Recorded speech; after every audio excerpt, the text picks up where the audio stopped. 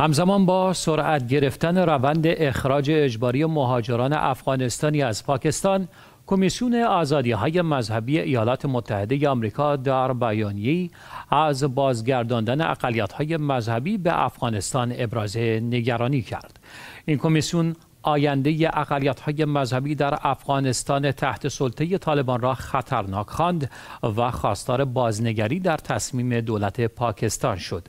پیش از این سازمان عفو بین الملل و دیدبان حقوق بشر نیز با ابراز نگرانی شدید از سرنوشت افراد اخراج شده از پاکستان گفته بودند که از میان مهاجرانی که در معرض اخراج قرار دارند حدود 600 هزار نفر کسانی هستند که در دو سال گذشته و پس از سلطه طالبان بر افغانستان و ترس از انتقام های این گروه به پاکستان گریختند. طالبان که خود پیرو مذهب سنی از نوع افراطیاند در 20 سال گذشته به اجرای حملات تروریستی علیه جوامع مذهبی شیعیان، اسماعیلیه ها، سیک ها و هندو باوران متهم بودند.